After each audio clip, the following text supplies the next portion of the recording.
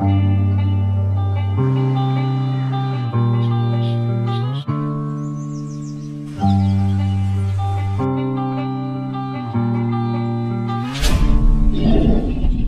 never knew my father. He was killed by a cop during a robbery when I was a baby. Later, when I understood what had happened to him, I found the bastard who pulled the trigger, I gave him a hard time. When I was done with him, I took his car, I bought a motorcycle with it, and I took off. I ended up in Vice City, Magic City. Personally, all I saw there was traffic of all kinds and shitty jobs.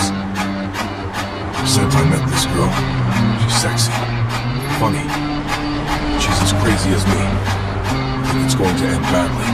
What's your name? Only Jay. Jay Glanton.